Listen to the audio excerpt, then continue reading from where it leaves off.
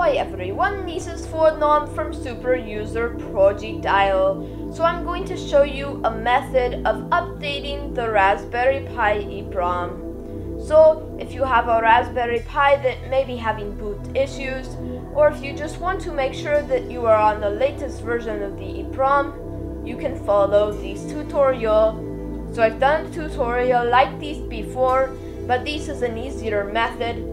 So you can follow this method and it will be easier than the other one if you watched that one. And also later today, if you're watching this on the day of release, in a couple hours I will have some Ubuntu, some Ubuntu content of a new release.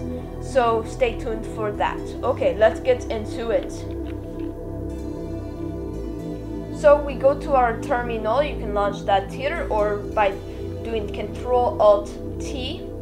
And so then you type sudo raspi-config.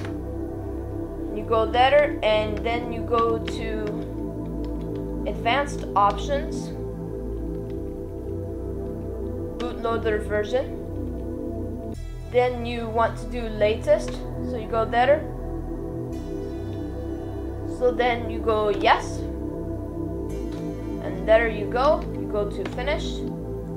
then it will ask you if you want to reboot. I'm not going to because I'm using a software screen recorder. But as soon as you reboot, you will have the new boot loader.